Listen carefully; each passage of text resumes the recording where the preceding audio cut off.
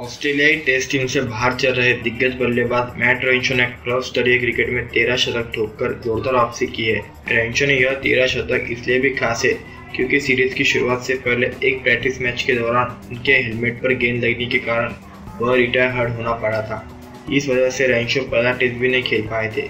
लेकिन इसके बाद क्वींसलैंड के मैदान पर रेंशो ने अपने क्लब तमुल के खिलाफ दूसरा टेस्ट खुलते हुए यह बड़ा रिकॉर्ड अपने नाम किया है। रेंशो ने दो सौ तिहत्तर गेंदों में अड़सठ चौके और बारह छक्के लगाए। वायुमैन के खिलाफ तीन सौ पैंतालीस रनों की पारी में दौरान रेंशो ने सिर्फ़ दो सौ तिहत्तर गेंदों में अड़तीस चौके और बारह छक्के लगाए।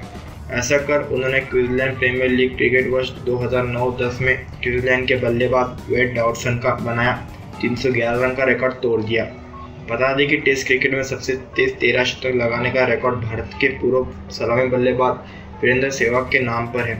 सहवाग ने 2008 में साउथ अफ्रीका के खिलाफ चेन्नई के मैदान पर दो सौ अठहत्तर गेंदों में तेरह शतक पूरा किया था।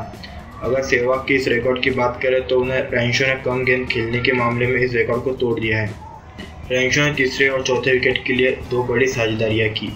बता दें कि रैंशो ने अपनी शानदार पारी के दौरान तीसरे और चौथे विकेट के लिए दो सौ छप्पन और 206 की साझेदारी भी की।